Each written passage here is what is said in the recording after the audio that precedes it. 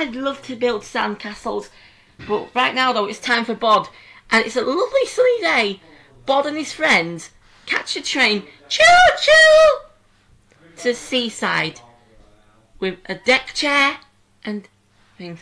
But they're all having a lovely time on the beach. So much that they don't notice the tide coming in. Oh, there's a tide coming in. Trapping Aunt Flo on the small rock. Rock oh, around.